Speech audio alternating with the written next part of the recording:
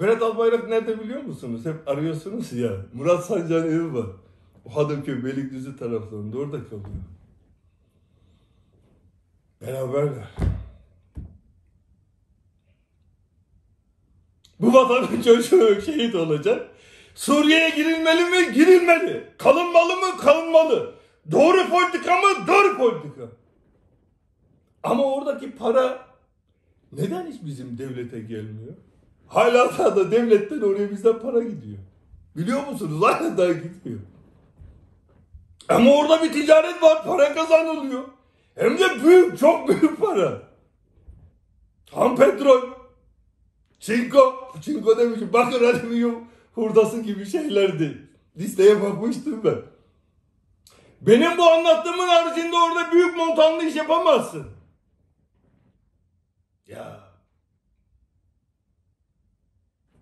Mahsuni'nin dediği gibi yiğit muhtaç olmuş kuru sovana. Herkes kendini öldürüyor çocuğuna. Ama anlatan yok, gören yok. Millet dinliyor, bilen yok. Bir hayal dünyasına dalmışlar. Yemin ediyorum ya. Vallahi diyorum. Milleti korkuturuz. E götürürüz. E bir de usulü var ya Kia demişti ya. Buraya geleceğim de şu Kia'yı anlatayım. Benim Kia var demişti ya. Siz diye bir sorar mısınız? Gazeteciler sormuyor. Siz sorun lütfen. 40 yaşından küçük arkadaşlar. Son 4 senede İçişleri Bakanlığı döneminde bu ülkedeki ne kadar ne kadar ne kadar büyük holding var, kurum, kuruluş var. Hepsi bunun şirketi de geçti biliyor musun? Ya bu makam suistimal etmek değil mi? Bu bile suç. Ya sen bu kadar nasıl büyür bir şirket bir anda?